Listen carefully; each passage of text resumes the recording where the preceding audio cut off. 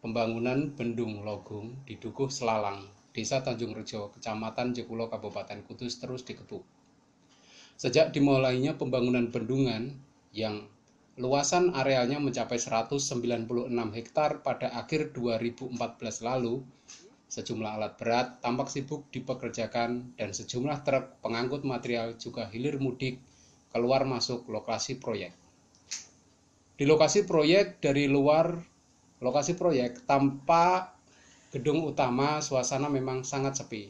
Tapi di kejauhan di balik pagar tinggi yang terbuat dari bangunan lama, samar-samar terdengar suara mesin, alat berat yang sedang bekerja.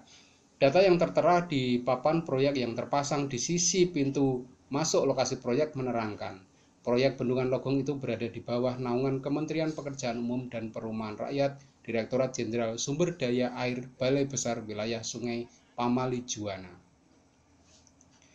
Paket pekerjaan konstruksi adalah prasarana konservasi sumber daya air jenis pekerjaan pembangunan bendungan Logung dengan nilai kontrak sebesar 584 miliar 936 juta 972 ribu rupiah.